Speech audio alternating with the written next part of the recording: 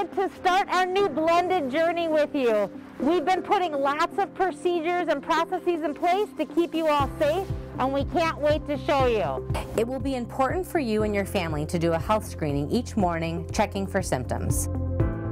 Arrival will look a little different this year. We will only be able to unload one bus at a time to allow for social distancing and traffic flow. Your family will also be asked to follow strict drop-off procedures to keep you safe. Buses will use the front entrance. Students will sit in assigned seats and stay in seated until dismissed by the bus driver. Students will exit the bus and be directed to a specific entrance depending on their grade level.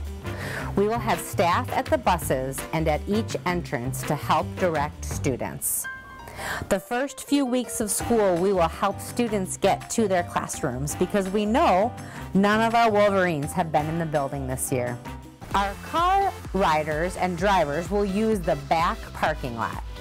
We are asking families to drive through to the back parking lot. Please do not arrive before 7.30. We will begin escorting students from cars at 7.30. In order to help stagger our arrival, we are asking families with a last name from A to L to arrive between 7.30 and 7.35.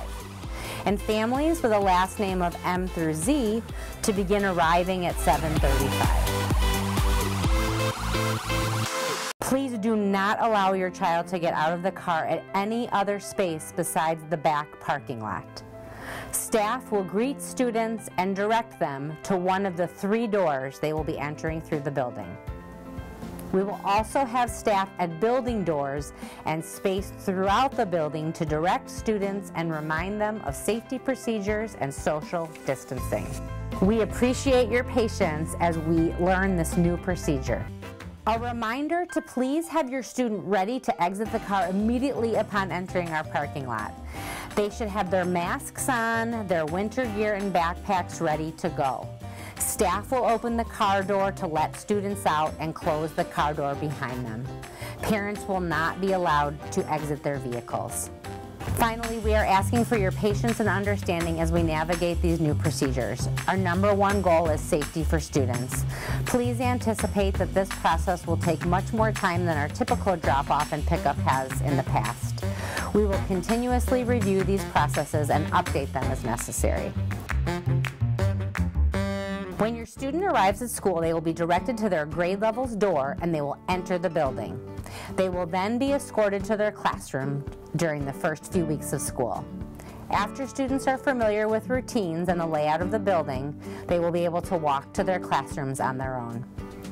As students enter the building, they will be asked to sanitize their hands at one of the hand sanitizing stations.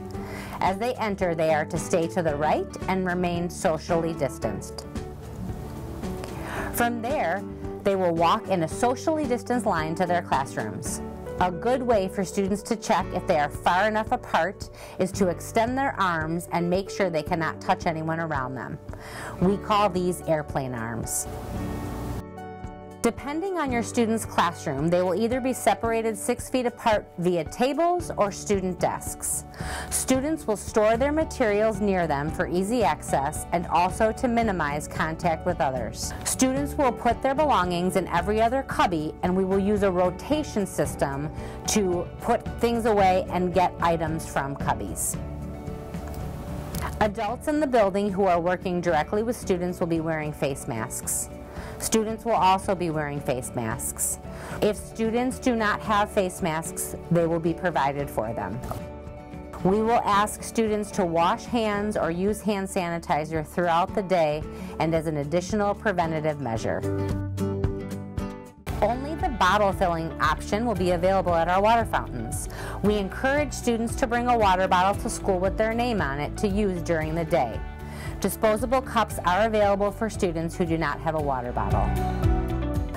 When using the bathroom, every other stall is blocked off. Only two students will be allowed to utilize the bathrooms at a time. Students will be taught procedures on how to ask if any other students are in the bathroom and will wait until there is an opening for them to use them. All students will be eating lunch in the classroom. As a class, they will walk to the lunchroom together with their teacher, whether they are getting hot lunch or have lunch from home. This will provide students a walking break and allow them to pick up lunch or milk. Students will walk back to classrooms and will eat socially distanced, facing the same direction in their classrooms. Our custodians and additional staff will help with cleaning up.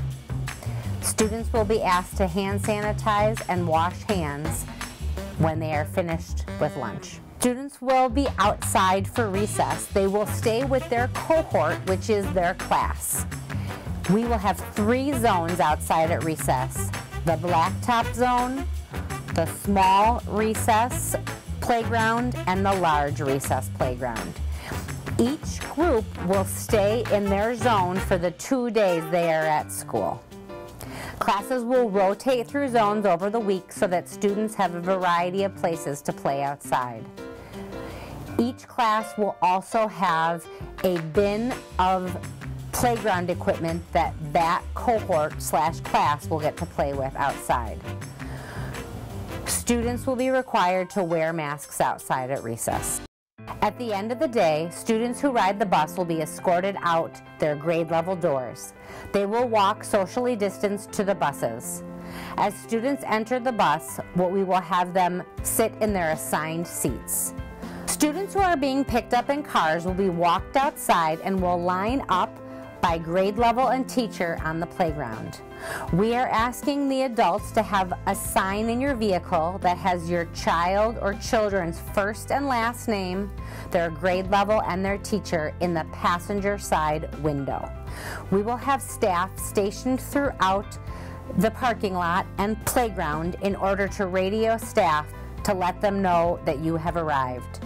We will escort students to the car socially distanced. Please understand that this process will take longer than our typical pickup procedures and we appreciate your patience and understanding. At this time, we will not be allowing visitors into the building for any reason.